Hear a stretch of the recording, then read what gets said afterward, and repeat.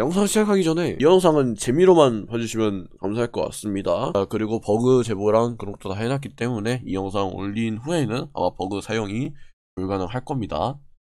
네 여러분들 안녕하세요 콩입니다. 자 오늘은 또 오늘 또 이렇게 준이가 버그를 또 하나 찾았다는데 보시다, 지금 보시다시피 지금 아무것도 안 보이죠?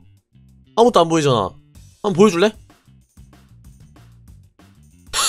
자 보시면은 자 투맨블럭 설치 아예 안 했습니다. 안 켜져요. 보시죠 아, 안, 안 켜지죠?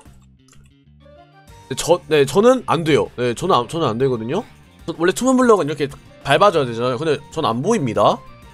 자 보시면은 TNT가 터지자마자 캐면은 저렇게 블럭이 설치가 됩니다. 이거 인게임에서도 가능해요. 인게임에서도 가능합니다.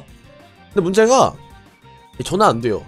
네 저는 선택하지 못하는 사람이어가지고 이렇게 ghost block도 가능합니다. 근데 상대한테는 안 보여요. 자 지금 준 화면 보이시죠 여러분들 자 바로 제가 로블록스 화면으로 보이도록 하겠습니다. 자 한번 준한테 TP 해볼게요.